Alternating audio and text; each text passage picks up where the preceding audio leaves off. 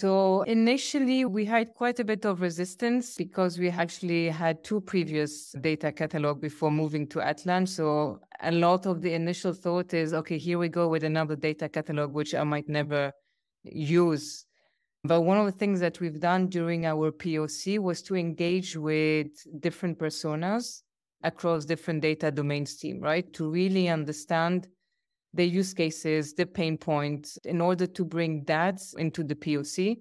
Uh, and this started to excite quite a lot of, of people, right? And that facilitates a lot of the choice for us to go with Atlan compared to, for example, other data catalog where we've done also a POC for. So really i would say really understanding the different pain points of the different personas because a data engineer will have different problems than you know what the business is looking for.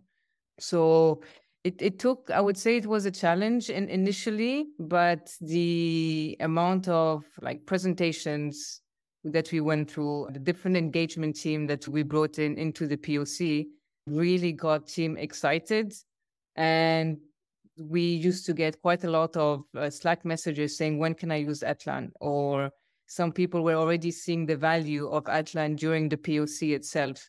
And this is where we started seeing a different culture shift.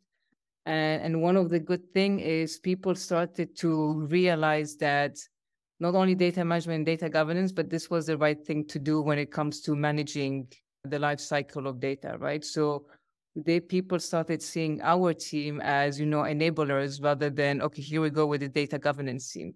And and this was the shift